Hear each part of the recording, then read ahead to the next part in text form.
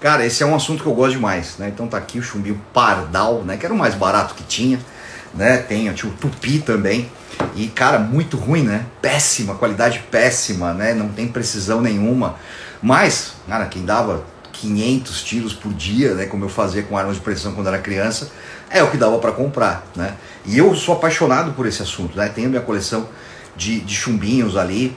Uh, tenho né, algumas, algumas boas armas aí de, de pressão também, sempre gostei disso. Né?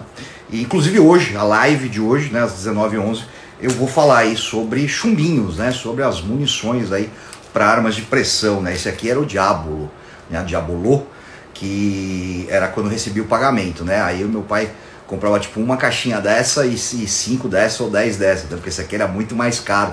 E eu estava muito mais preocupado em atirar muito do que atirar bem, né? Eu queria era quantidade. Vamos falar sobre tudo isso hoje, 19 11.